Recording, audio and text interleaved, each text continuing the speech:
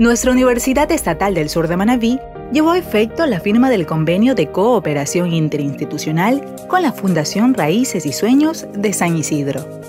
La firma del convenio se llevó a cabo en San Isidro, en el sector Piquigua, en un importante evento en el que la Fundación realizó el lanzamiento oficial del libro Historias de los Niños y Niñas de San Isidro. En el mismo hubieron presentaciones artísticas, danzas, presentación musical y más. Al evento asistieron nuestras autoridades, autoridades de la localidad, estudiantes de la zona e invitados especiales. Nuestra máxima autoridad, la doctora Blanca Indacochea Ganchoso, manifestó lo siguiente. Nuestra universidad trabajando siempre con las comunidades. Y permítame felicitarle a la Fundación Raíces y Sueños de San Isidro, dedicada al rescate de la cultura montubia, a la formación de niños jóvenes a través de la Escuela de Artes.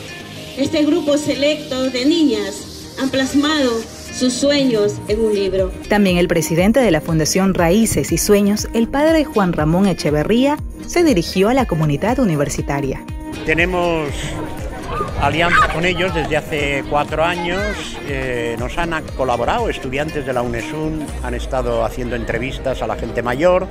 Ahora hemos firmado el convenio para que todas las áreas que tiene la universidad puedan participar y desarrollar sus trabajos en nuestro proyecto Raíces y Sueños de San Isidro.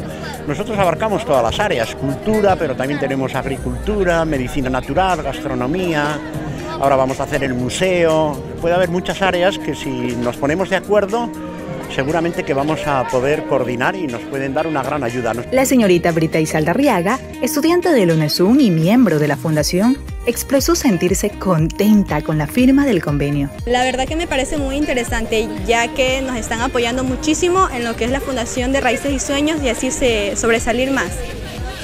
Y respecto a lo que, lo que me parece el proyecto de Raíces y Sueños, la verdad que es demasiado importante porque nos ayuda a rescatar las culturas de nuestros pueblos, de nuestros ancestros. El presente convenio tiene como objeto facilitar la cooperación entre las instituciones firmantes en actividades relacionadas con la academia, vinculación con la sociedad, prácticas preprofesionales, capacitación y desarrollo local, entre otras. Se ha formalizado un convenio con la Fundación Sueños y Raíces, donde la universidad ocupa un rol protagónico mucho talento humano que puede aportar muchísimo.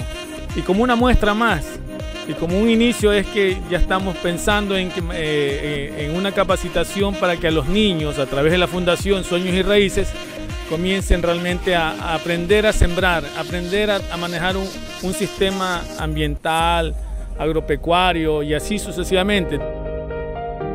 La UNESUN crece, excelencia académica para el desarrollo.